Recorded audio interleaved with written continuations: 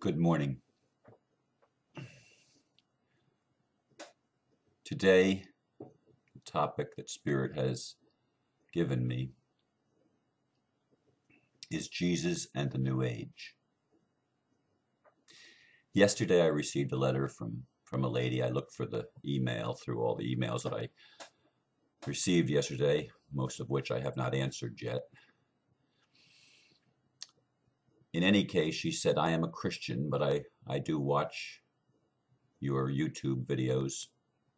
And even though I've been warned about the New Age, you speak with a lot of wisdom. I don't remember her exact words. But the Spirit of God is upon me to speak to you from a place of wisdom. And I'm going to make fundamentalists happy this morning by actually referring again, I've done that in other uh, videos as well, to a scripture. This one is from the end of what we know as the Holy Bible, in the 21st chapter of, of the book of Revelation, which is also known as the Apocalypse, just for your information. But there's a John is receiving a vision of the new heaven and the new earth. And he sees one sitting upon the throne I would assume that that's the living Christ that's sitting on the throne. And he said, He that sat on the throne said, Behold, I make all things new. And he also said unto me, Write, for these words are true and faithful.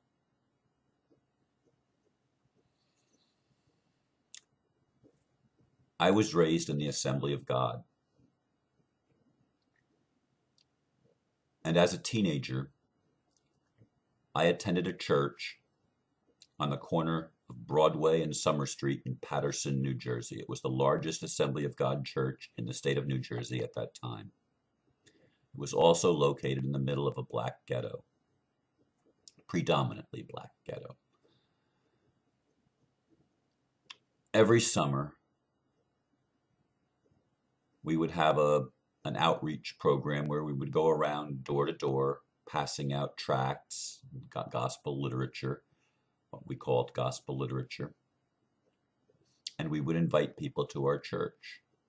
But the instructions baffled me as a young teenager, and I didn't understand why we were told and instructed that if we came upon the house of a black family, which again, this is a predominantly black neighborhood, we were to give them the literature but not invite them to our church.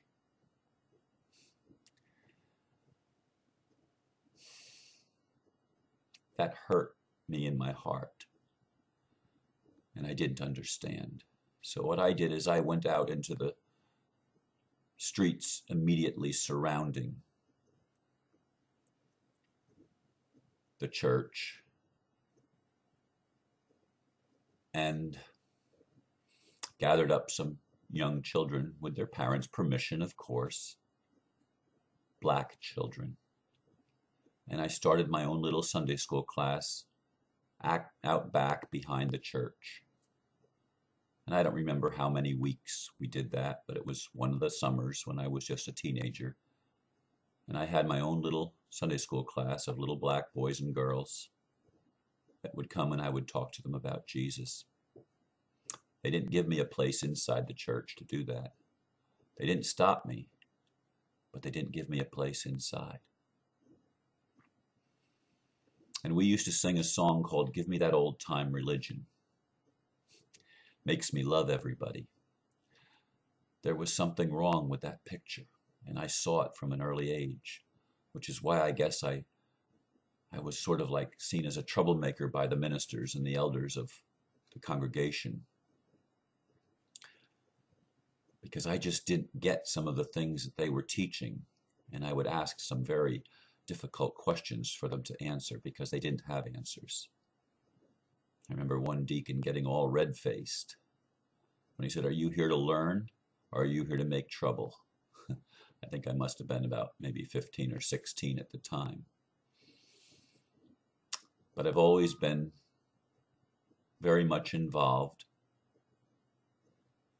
in Jesus, in Christ. Yes, early on in the Bible. Very much so. Very much so.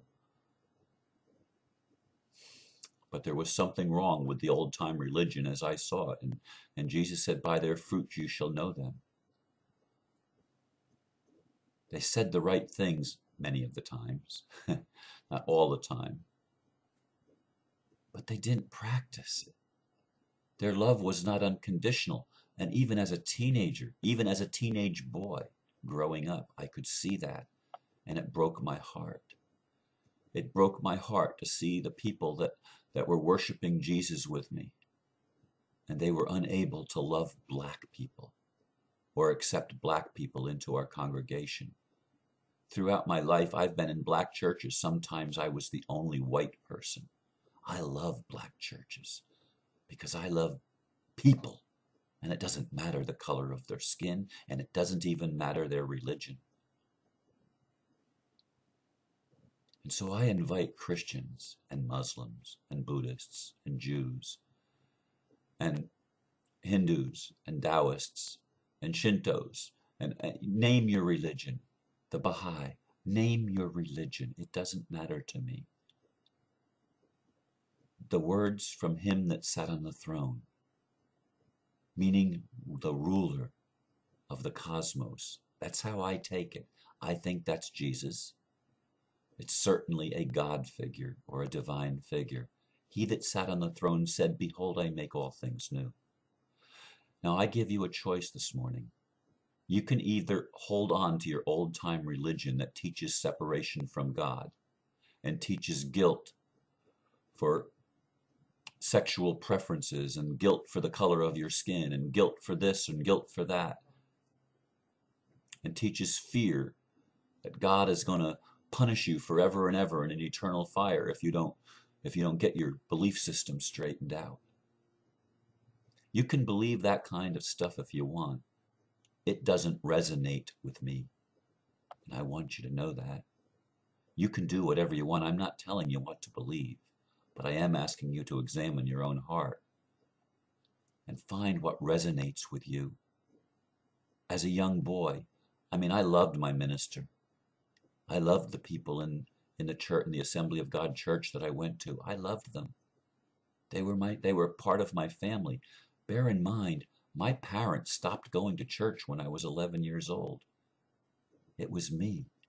It was me on my own volition that started going back to church, a different church than the one my parents had left. But it was still the Assembly of God. It was still the same denomination. And I got the minister to come and pick me up, and then my brothers and sisters would follow. And we went to church. My parents weren't going to church at the time. In fact, during that period of time, if, if they wanted to punish me for something, the punishment was you can't go to church.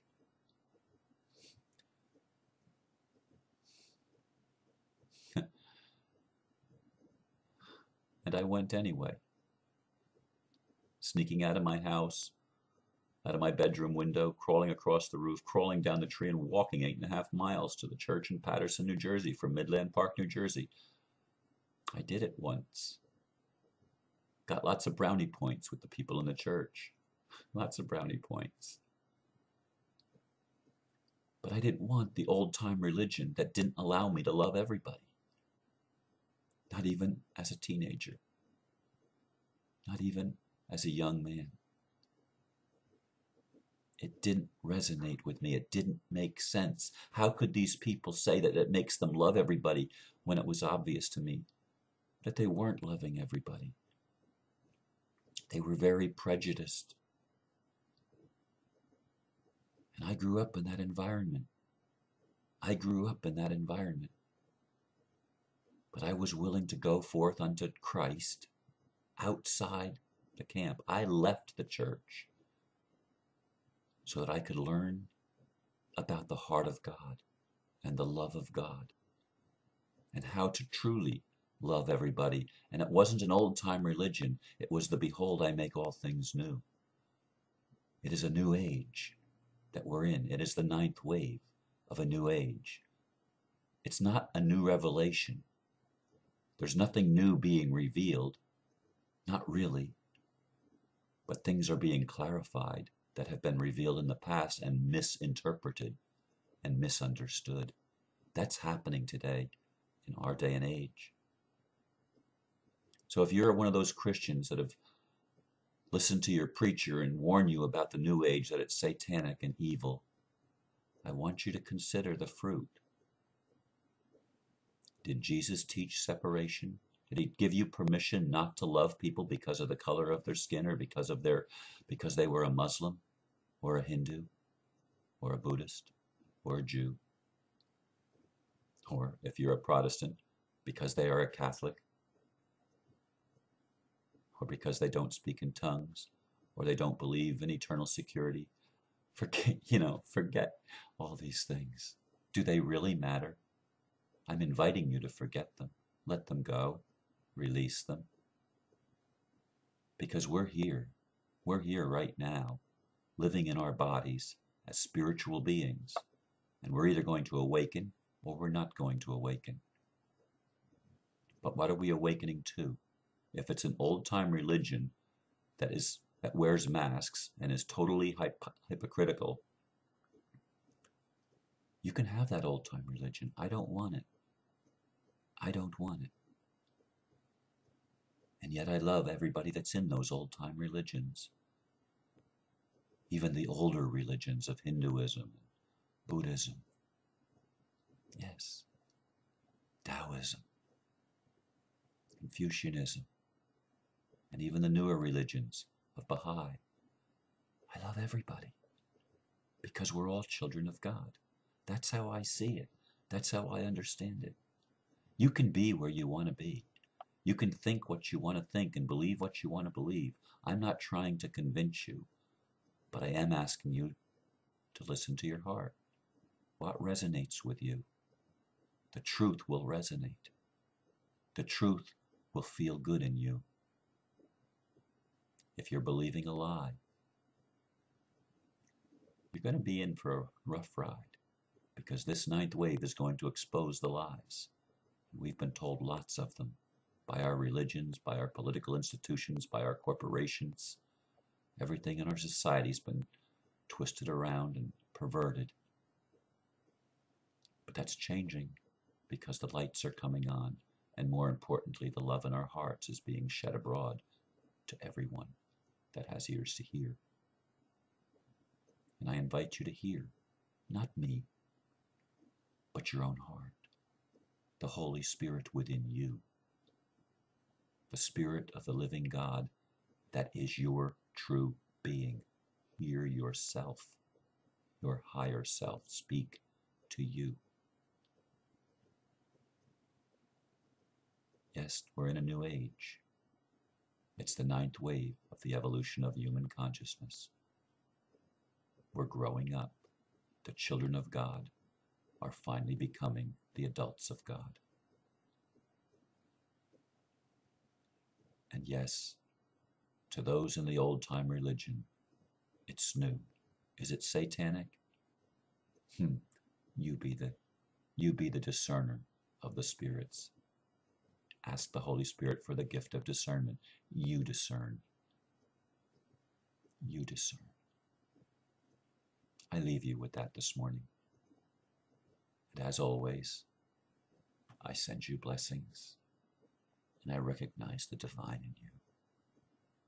I recognize that you and I, at the deepest level of our soul, are one with God, in Christ, in the Buddha. East and west, black and white, north and south, we are one. We are one unity consciousness in the ninth wave. Yes. Have a wonderful day, and God bless you.